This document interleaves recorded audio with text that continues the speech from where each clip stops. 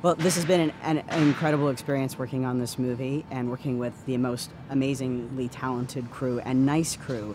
French Canadian. I couldn't understand a word any of them said, but they seemed really nice. And when they weren't speaking French, they were speaking Spanish, which I also don't know.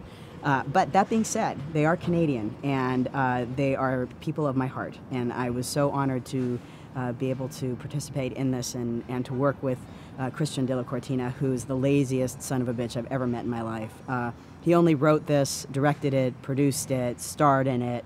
Uh, an incredible guy to work with, so humble, so amazing, and inspiring. Because I have no excuse now to do like I just I have to get off my ass and do something because of this man. Uh, and I think it's really important that you, you, people see how how people can actually put together a project like this. Uh, you know, whether they, they have what they need in, in time, they just make it work. And they do step by step to make sure that this whole thing came together.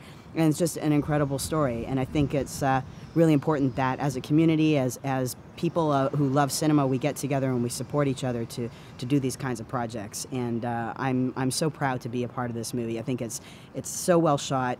It's it's fun. It's it's fast. It's got great characters, and uh, I hope that everybody goes out and sees it and appreciates it and, and what went behind it and uh, gets inspired. And uh, thanks, thanks for thanks for. Hey, Christian, come here, come here.